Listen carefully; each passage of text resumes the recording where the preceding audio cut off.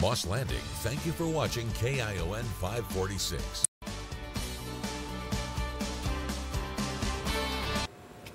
Right now at 5, Santa Clara County resumes its annual search and rescue demonstration. The latest techniques being used to help you in case of an emergency. Plus, the Central Coast is in store for some pretty severe weather this weekend. How you can prepare for the storm. And I am tracking that storm, find out when it'll arrive and what you can expect from it. Plus, we take a look at what underinsured Californians can do in light of fires, floods, and other disasters. This is KION News Channel 546 at 5. Thanks so much for being here for KION News at 5, everyone. I'm Taryn Mitchell. Well, rain is forecasted for the Central Coast this weekend with Santa Cruz County issuing evacuation orders for people who live in areas that could be affected by debris flow from the CZU Lightning Complex burn scar. Here's a look at the areas that are right now under evacuation orders. Anyone who lives in these areas in red must evacuate by 8 a.m. tomorrow. This is an interactive map which allows you to input your address to see whether or not you are under an evacuation order. This can be found on our website, KION546.com. If you have any questions about evacuation orders or resources, you can call the number on your screen. That is to get notifications directly from the county. You can visit scr911.org and register your number. People who need assistance evacuating large animals and livestock should call 831 708 8998. The county plans to open a shelter tomorrow morning at 8, but has yet to say where that shelter will be. In the meantime, the sheriff's office is out today knocking on doors in high-risk areas that will likely be damaged by debris flow. Let's go ahead and turn over to Chief Meteorologist Dan Cianca, who has been tracking and keeping tabs on the situation. Good evening, Dan. Hey there, Taryn. The storm has been gaining strength over the Pacific overnight. We can see this big burst of clouds associated with it, an area of low pressure right here really developing still. So it's still in the process of forming. Some of the rain already reaching Northern California, really the tail end of another weak system that just kind of preceded it. But we're already getting that high level moisture in the form of high clouds here today. And this is really just going to ramp up as we head into the overnight hours into tomorrow. Already flash flood watches in effect for the burn scar, specifically in the Santa Cruz Mountains and also the Santa Lucia Range in Los Padres National Forest. There are some of those scars on your screen, including the CZU complex and all of the fire scars Monterey County. Uh, the higher potential of debris flows with some of these rainfall rates is there. And on top of that, there's potential for urban and small stream flooding as well, as some heavy rain is expected in the coming days. In fact, this is raw model output of rainfall totals expected through Monday afternoon. And you can see that many cities around the bay in that one to three inch range in coastal mountains. We've been talking three to five inches all week, with some areas closing in on seven inches. And that certainly will be possible as we head through the day. I'm going to take take you through the storm tomorrow, uh, hour by hour. We're going to talk about the wind. We're going to talk about when the heaviest rain is going to reach your neighborhood. And we also have some other hazards, including some ocean hazards to talk about. That's all coming up in a bit. Thanks so much, Dan. To help people prepare for the rain, the Santa Cruz Central Fire Department is offering free sand and sandbags to you. This will be at their main headquarters. Sandbags are self-serve and available 24-7, so people are responsible for filing, filling their own bags, and there is a limit of five bags per household. After the fires and the pandemic, home prices and the cost to rebuild are much higher. Now insurers are saying that incoming rain is making for not so perfect storm for the 20 to 30 percent of Californians who are underinsured. Federal numbers from August show that the price of building materials are actually up 19.4 percent from last year and that the price of homes are also on the rise. So what should you do if you can't afford to rebuild and are underinsured? Really, one of the best people to ask is ask a contractor what the cost to build per foot is that they're seeing. And while it usually takes 30 days for insurance protections to take effect, agents say that making sure your home is properly insured can really help you, and in the off chance that a disaster strikes. The Santa Clara, Santa Clara Sheriff's Office Search and Rescue Team held their 2021 annual mock search today at the Henry Coe Park. This was alongside Academy recruits to simulate the search for missing persons in the park. Our very own Stephanie Aceves was at Henry Coe Park where she spoke with organizers about the demo search. Good evening, Stephanie. Taryn, things were busy here in the morning as search teams were being deployed in search of their simulated missing persons. Academy recruits were suited up and ready to go on their of not only finding their missing person, but also surviving the night without a tent and sleeping bag, using only the materials in their backpacks. One Academy recruit says he does this for the community. We're not allowed tents, we're not allowed sleeping bags, so basically it's a tarp. You have to figure out how to set up a, a shelter to keep warm at night. But I love uh, helping the people in my community. This is an excellent way for uh, me to continue helping with my community. The search and rescue demo is meant to simulate the real deal with about three people that have been planted throughout the park. One assignment with serious medical injuries, the other located in difficult terrain. They've spent about uh, the last eight weeks or so learning different skills that they're going to need out in the field. This is an opportunity for them to put it all together, and it's an opportunity for our seasoned members you know, to renew some of their skill sets. KION got the opportunity to survey some of the area in the Santa Clara Sheriff's Office helicopter where the teams have been planted within the park. Henry Coe State Park is one of the largest state parks in Northern California with 87,000 acres of rugged land. Three helicopters were present in today's demo from CAL FIRE, Star One from the Santa Clara County Sheriff's Office, and the National Guard. We open our, our mock search up to many, many different agencies um, so that it more closely resembles what we would see in the real world if we had a, a large missing person event that required mutual aid and requ- we requested assistance from our neighboring search and rescue teams and our neighboring counties. So far, both divisions have found all three missing subjects, but both will need to spend the night in the park until tomorrow morning. In Henry Coe Park, Stephanie Aceves, KION News Channel 546. 70 million Americans are eligible to get a COVID-19 booster shot this weekend. The CDC has approved boosters for all three vaccines, that being Pfizer, Moderna, and Johnson & Johnson. And the approval for children may just be around the corner. People can now decide to mix vaccines to increase protection. A small National Institute of Health study awaiting peer review actually found three doses of Moderna offered the highest level of protection, followed by two shots of Pfizer and then Moderna. Anyone who received Johnson & Johnson single-dose vaccine would be protected if they got either the Pfizer or Moderna shot as a booster. To better protect adults who took the Johnson & Johnson shot, health officials have minimized the requirements for them.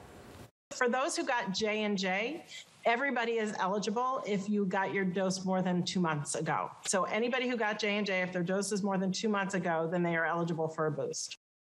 An FDA advisory committee meeting scheduled for this coming week will consider Pfizer's modified vaccine for children. If this is approved by the FDA, children could begin receiving the shots in early November.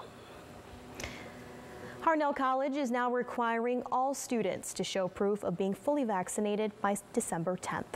The college says that they are considering requests for medical and religious exemptions.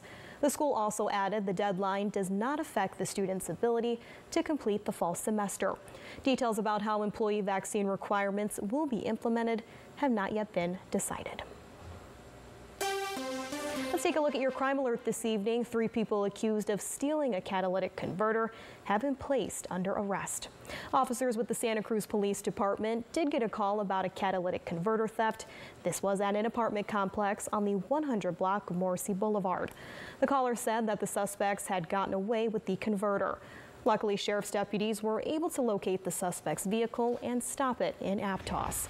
During their investigation, the catalytic converter was located along with a two floor jack and two saws with the eight rounds of a 22 caliber ammunition. Last night, officers with the Hollister Police Department responded to the 100 block of McCray Street. That was in regards to the report of a subject was down inside of a vehicle and was unresponsive. Upon their arrival, officers located a Hollister resident who was later arrested for a DUI. A search of the suspect's car revealed loaded unregistered ghost handgun in the center console of the vehicle. They have been booked in the San Benito County Jail on DUI and weapon charges. New details today in the fatal movie set shooting involving actor Alec Baldwin. A search warrant reveals that an assistant director actually handed the prop gun to Baldwin and indicated it was safe to use and did not have live ammo. Omar Villafranca reports from Santa Fe, New Mexico. Moments before Alec Baldwin fired a prop gun that killed the cinematographer, Court documents show Assistant Director Dave Halls handed the actor the weapon and yelled, cold gun. The Santa Fe County Sheriff's Office says Halls did not know the weapon actually held live rounds. Halyna Hutchins was shot in the chest and pronounced dead after being airlifted to a hospital. Director Joel Souza was wounded in the shoulder. Kevin Williams has supervised prop guns for 20 years. Generally on set, you have either the prop master or a set armor who's going to be maintaining chain of control uh, from when the weapons are in the trucks to when they hit the set to when they go to the actor's hands. Investigators are now focusing on the wooden chapel-like structure on the set of Baldwin's Western, Rust. Items of interest include video captured during filming, firearms, computer equipment, and clothing that may still be in the building. Investigators already seized Baldwin's Old West costume, which appears to have bloodstains. The actor says it was a tragic accident and that he's heartbroken over Hutchins' death. CBS News editor Gustavo Sampaio worked closely with Hutchins on a short film. She really was a rising star. I was uh, very impressed and proud of her. Um, I, I often thought that I wanted to work with her again. In Albuquerque Saturday night, Hutchins' friends and colleagues plan to hold a vigil in her memory. Omar Villafranca, CBS News, Santa Fe, New Mexico. Coming up, Chief Meteorologist Dan Cianca will have your cold weather forecast for the rest of the weekend. Plus, California wildfires have caused an increase in sickly and injured animals throughout the state. How one shelter is changing its way after an injured bear cub escapes. And later, a volcano erupts, villages and forcing thousands of people to flee their homes.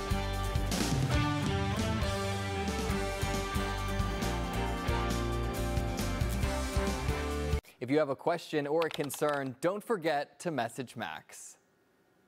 Pottery Planet in Santa Cruz, offering a great selection in pottery, fountains, home decor, wall art, and unique gift items. Find outdoor furniture and fire pits. We're now fully open and observing all social distancing protocol. Pottery Planet, Santa Cruz. Community Human Services is now providing free mental health counseling support to uninsured and Medi-Cal insured residents of Monterey County. Details at chservices.org. Community Human Services. Hope, help, here. I think there's enormous potential for the Blue Zone project in Monterey County because we can again reframe that question of what do we think about when we go to the doctor. What's wonderful about the Blue Zone project is it provides this simple blueprint of what to do for health. If we learn to integrate Blue Zones Project's ideas into our lives, both as Monterey County and in our little communities, it would be amazing to see the health that we can develop. Join me in creating a healthier Monterey County. Are you hiring in the Central Coast area? Post your jobs on SantaCruzJobs.com or MontereyBayJobs.com and reach more candidates than any other job sites. We have hundreds of jobs posted from reputable employers, helping local businesses in the Central Coast area get great results. Because we provide the best candidates for the best price. Post your jobs today. SantaCruzJobs.com or MontereyBayJobs.com. Free for job seekers and great for business. The Bennetts really know how to put their Wi-Fi to work. Whether it's work work, works for me. School work, it worked, or a workout. I'm working. They've got Xfinity, which delivers Wi-Fi faster than a gig for all their devices. It's more than enough to keep everyone working. Can your internet do that? This is work. This is hard. Learn more about gig speed Wi-Fi or get started with Xfinity Internet for $19.99 a month for 12 months. Click, call, or visit a store today. Welcome back. We go across the nation now where progressive and moderate Democrats are at odds over the multi-trillion dollar Democratic spending bill and finding it difficult to compromise. The original $3.5 trillion bill is being whittled down to about $2 trillion. Now Democrats must decide what to keep and what to cut, from climate change to expanded Medicare. The green aspects of this, the climate aspects of it, they are resolved. In terms of the uh, health care, we have a couple outstanding issues that will that just need a decision. One decision that both moderates and progressives so far agree on universal pre-K. Under the president's Build Back Better plan, the federal government would pay the startup cost for every state to offer pre-kindergarten education. But another education provision, Free Community College, a passion project for First Lady Jill Biden, didn't make the cut. In other news, information from the Facebook whistleblower is revealing more about the company's role in the U.S. Capitol riots back on January 6th. Frances Haugen provided Congress-censored internal documents from Facebook about the insurrection. The pages included an internal analysis by Facebook focused on the spread of the Stop the Steal and Patriot Party movements. The analysis found Facebook's policies did not slow down or stop the growth of either campaigns. Back here in California, a rescue center that treated animals injured in Northern California's wildfires has now been ordered to make repairs. This is after an injured bear cub escaped from the center. The Bear League plays an important role in saving injured bears and nursing them back to health. But they came under some fire earlier this year when a bear cub that had been burned in the Tamarack fire escaped from Lake Tahoe Wildlife Care. A massive search for the cub happened. Both the state and the members of the league don't want something like this to happen again. We don't want these little rescue bears to be escaping and, and be running off and, and not be able to be cared for. Now, before it can renew its per permit and welcome back bears, the Department of Fish and Wildlife is requiring, requiring the center to dig deeper fencing and make the bear enclosure more secure. Lake Tahoe Wildlife Care is one of four bear rehab centers in the state.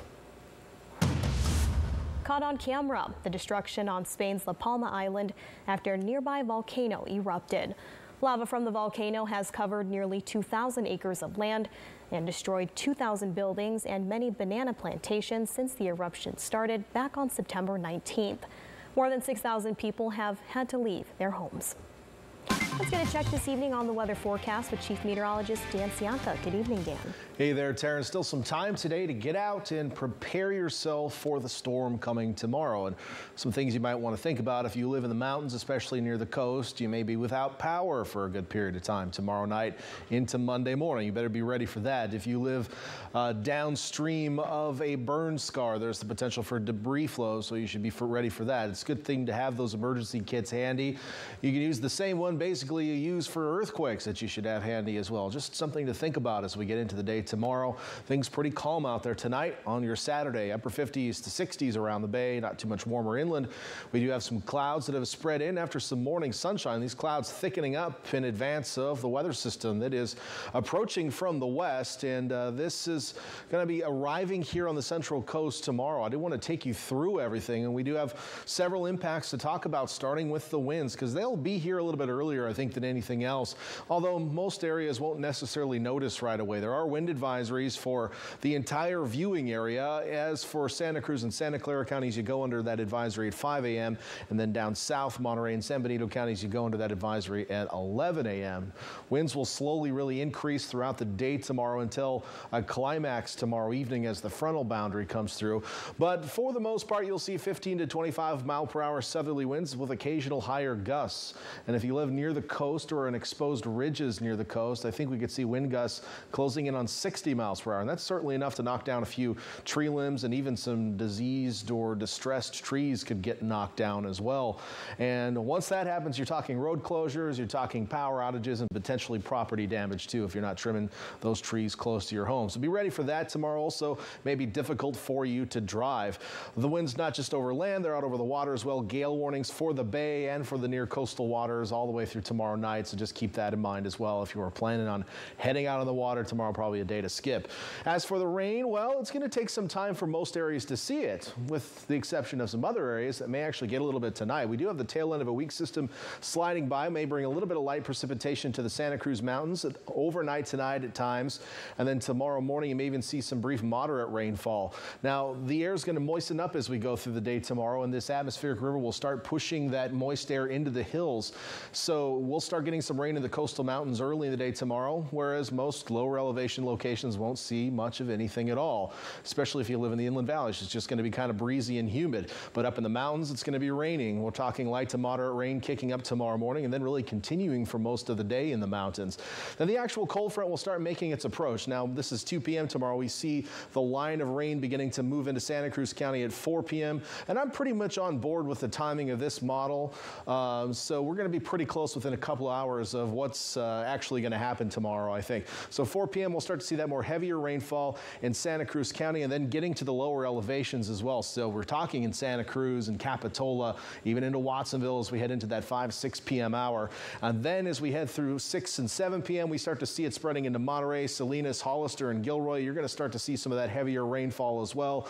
And then that'll keep pushing to the south. And even behind it, the rain is going to keep coming and coming uh, across the Santa Cruz Mountains all that time. And then still pushing south as we head through midnight, 3 a.m., still filled in around the bay and continuing to move into our southern county uh, valleys as well. And then by 6 a.m., we start to see it break up a little bit. So we're going to get an extended period of rain in those coastal mountains, somewhere between 12 to 18 hours of moderate to heavy rain, whereas coastal cities and, you know, our northern inland cities will probably see about six hours of rain tomorrow night.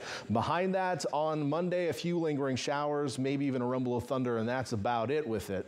On top of that, this storm also building some big swells. Let's take a look at that. Uh, and they'll be coming in from the northwest, and uh, some of those swells could be pretty massive. This is look at future wave tracker. We're looking at 14 or 40 foot swells out over the uh, open ocean.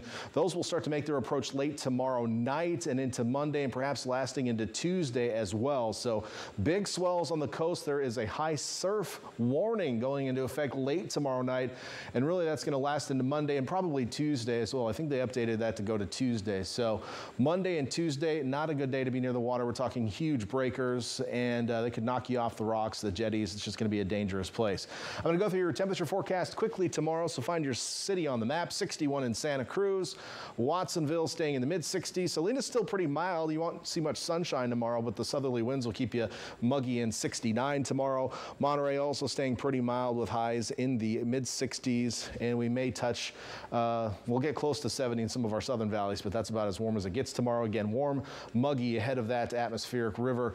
And then uh, again, it's going to last through Monday morning, and then a few showers may linger into Tuesday on the coast. Beyond that, we're dry and tranquil for the rest of the week. And inland areas also, you'll see the winds, by the way, knock down uh, early on Monday morning and then start to die off, but rain late Sunday lasting into Monday. Please stay tuned to my forecast. We'll be here live at 10 and 11 tonight. We'll also be, I'll also be in the studio tomorrow as well at 5, 10, and 11 to keep you up to date on the storm. So make sure to tune in on air and online. Taryn. Dan. Highway 17 is back open at the summit. This is after police activity shut it down earlier today. The CHP confirms that the road was closed in both directions. This was between Summit and Sugarloaf roads. Caltrans confirmed that the highway reopened just after 2.30 this afternoon. Well, coming up next, why you might want to start stocking up on Christmas presents now. How the supply chain crisis is expected to affect the holidays.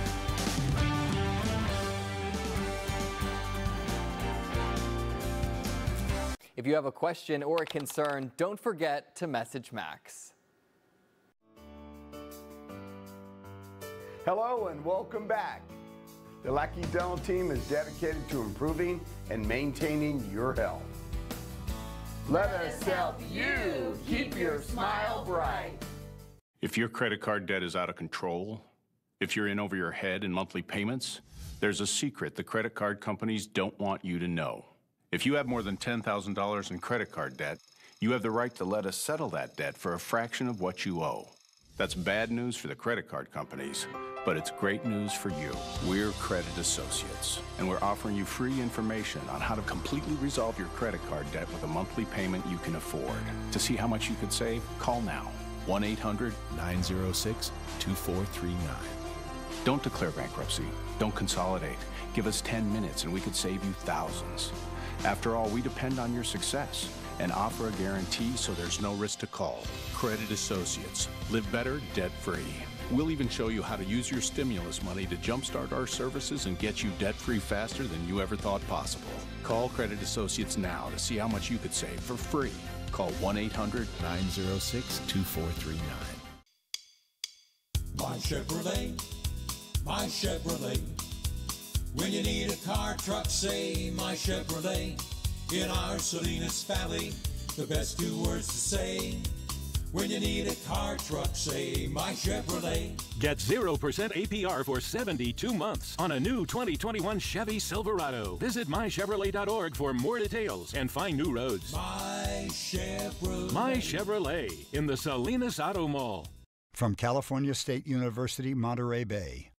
Listener supported 90.3 KAZU.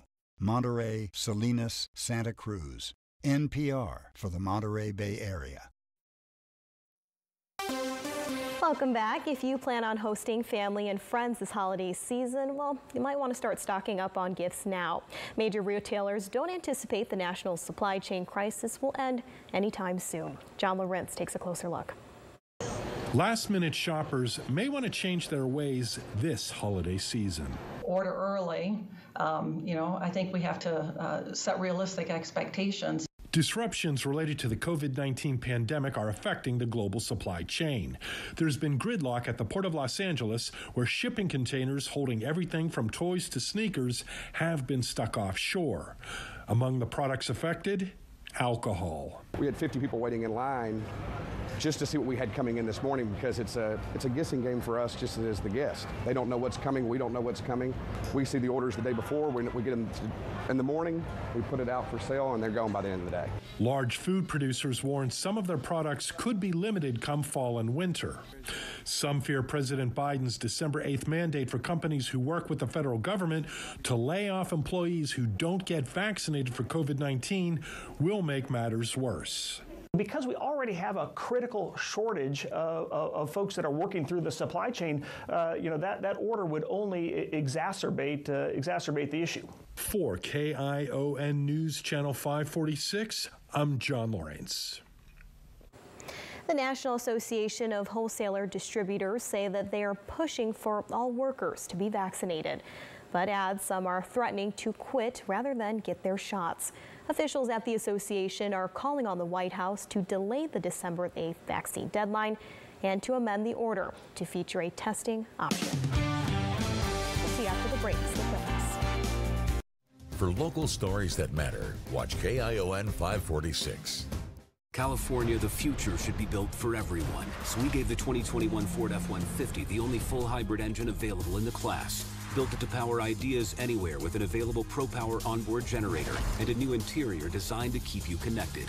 This is a new generation of F-Series, the best-selling truck for 44 years, and it's only the beginning. Now get the 2021 Ford F-150 with 0% financing for 72 months. Only at your California Ford dealers, where the future comes standard. The pain level was over 10. There's days where I just sat and cried and, and asked the good Lord to take me. And my doctor recommended that I go to Good Feet and try the arch supports. And I took about three, four steps, turned around and went and sat back down and started to cry. It was the first time that I had no pain. I'm not an actor. I want people to know my testimony. I want them to know what arch support's can do from Good Feet. See for yourself with a free personalized arch support fitting at the Good Feet store. Hi, I'm Gary Vick from Carl's Jr. Restaurants, the place where food dreams become reality. The California International Air Show is back this October 30th and 31st and will feature the United States Air Force Thunderbirds, monster trucks, the Kid Zone, world-class drag racing, and more. We want to give you a chance to bring along a friend. So stop by any Monterey County Carl's Jr. and get two California International Air Show tickets for the price of one when you purchase any delicious combo meal. See you there. And considering that slight downward trend, we may be. Uh, oh boy.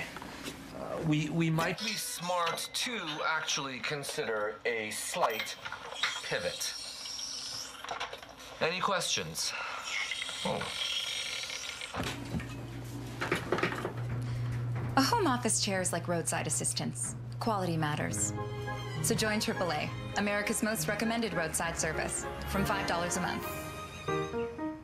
Don't miss the California International Air Show October 30th and 31st featuring the United States Air Force Thunderbirds. Get your tickets today at salinasairshow.com. Welcome back. Today is National Make a Difference Day a day when millions of people do something to improve the lives of others. The holiday has become the largest national day of community service in the country. To celebrate, people can volunteer at a local organization, You can be a mentor or make a donation to a charity. And if you aren't able to do any of these things, no worries. Simply say a kind word of support to someone struggling. Dan, I appreciate you. Am I Nothing. struggling? You're not struggling, but I appreciate You're you. doing a great job, Tara. We don't hear that enough. Thank you. Right. I think we have a lot to get to. Um, take a look at weather. Final look at weather. Weather system on the way into the region tomorrow. Please stay tuned to the forecast. Heavy rain expected to arrive late tomorrow evening, even as early as maybe dinner time. And we'll start getting heavier tomorrow night. Of course, we'll be keeping a close eye on it for you. And we'll be keeping a close eye on that later on at 10 and 11 for you folks. Have a wonderful evening.